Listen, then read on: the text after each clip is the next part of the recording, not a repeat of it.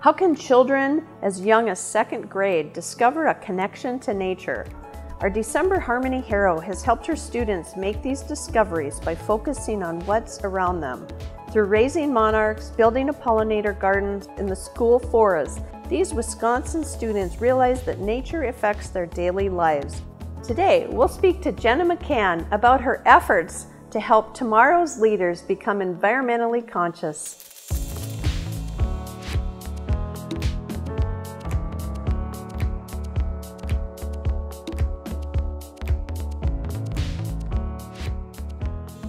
Jenna, we are so excited to name you December's Harmony Hero. Thank you. I am very honored. It's great to meet with you. Likewise. Can you share with us what you've been up to? It's just, it's amazing. I've been working with kids and community with raising the awareness of monarchs for about 25 years. And it's just so rewarding to see the numbers of monarchs increasing, and just the passion that kids and adults can have for looking to save the species. Can you share what it was like to build a pollinator garden? Certainly.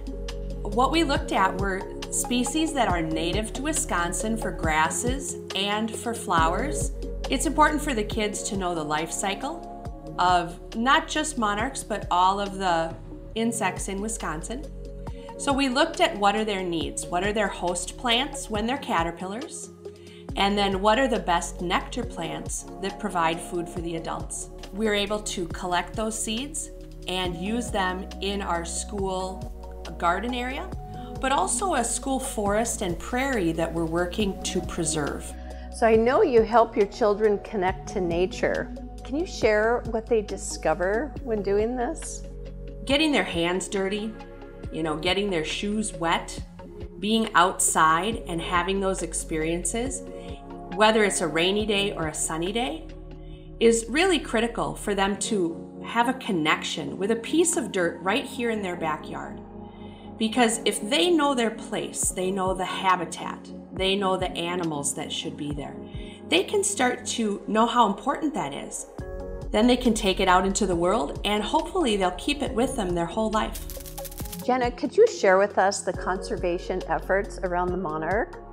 At school, it's important that the kids kind of learn the basics. They need the vocabulary, they need to know about the life cycle. But it's been a privilege to also work with my local libraries. And during the summertime, I provide a display terrarium that just has the life cycle ongoing. I bring fresh milkweed in every day to the plexiglass display and kids and adults can see the eggs and the caterpillars. They wait for the chrysalis to emerge into a butterfly. And then, with the help of the librarians, they release the butterflies the day that they emerge.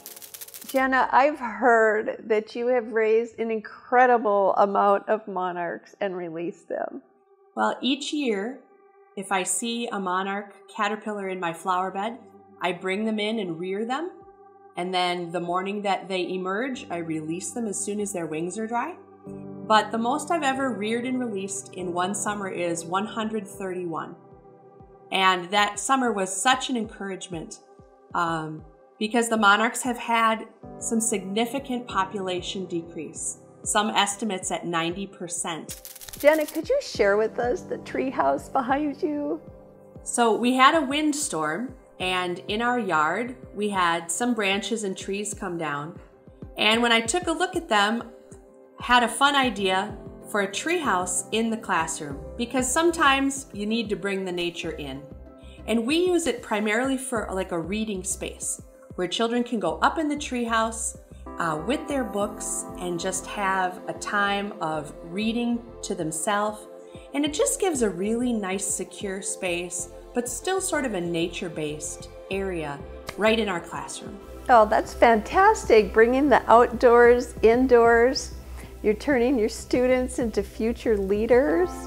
T tell me from your heart what you know what it what it means to you to win a trip to the monarch winter habitat. Uh, that would be a life-changing experience.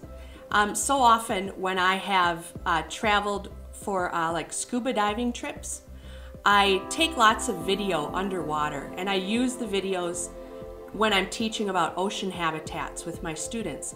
So if I were to win the trip, that would be the first thing I would do, would be to take video along the way to make it as much of a field trip for my students and anyone who watched the video as possible.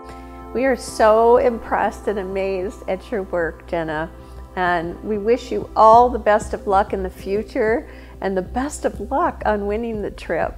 And thank you to you for all that you and your company does to really also take care of the environment and be proactive with that. To see what we've been up to this year with the Harmony Heroes, visit the intro video where you'll hear from Dr. Court Whelan, Natural Habitat Adventure Guide and entomologist, who will be guiding our winner and three of their guests to the central Mexican mountains winter habitat home of the monarchs.